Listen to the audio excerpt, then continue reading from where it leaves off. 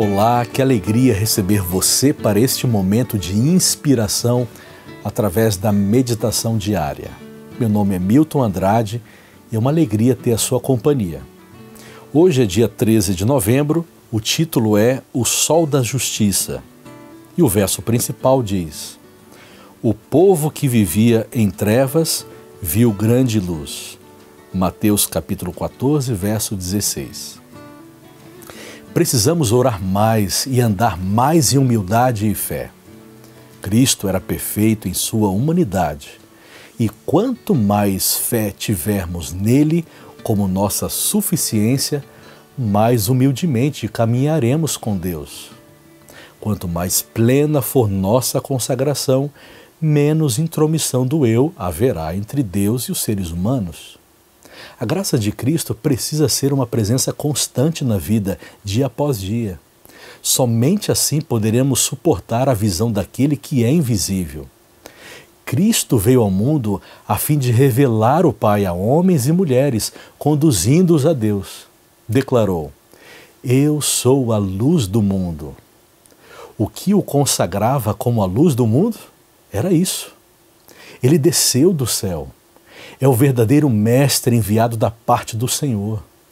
Ele foi escolhido para revelar o caráter divino ao mundo. É a brilhante estrela da manhã, é o sol da justiça, uma luz para iluminar os gentios e a glória de seu povo Israel.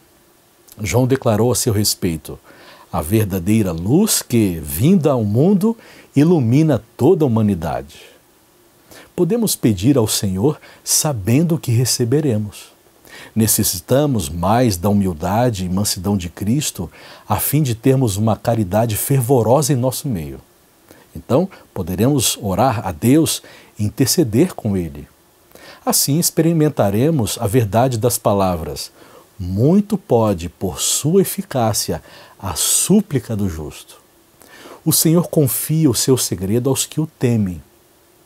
Mas aqueles a quem Deus poderia usar estão correndo maior risco de se apoiar em frágeis recursos humanos. Há uma obra intensa a ser realizada. Há necessidade de andar com Deus. Então, materiais assertivos serão publicados. A oração e a fé realizam aquilo que nenhum poder sobre a face da terra é capaz de fazer. Não precisamos ser tão ansiosos e aflitos.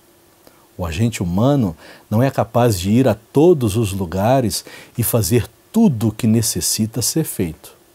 Com frequência, imperfeições se manifestam na obra, mas se demonstrarmos confiança inabalável no Senhor, sem depender da habilidade ou do talento de seres humanos, a verdade avançará.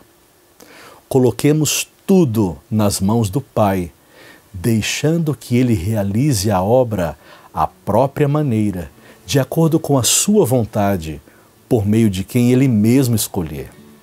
Aqueles que parecem fracos poderão ser usados por Deus se forem humildes. De que maneira a oração e a fé afetam seu modo de testemunhar de Cristo? Como essas bênçãos espirituais mudaram a sua caminhada com Deus? Medite nisto hoje.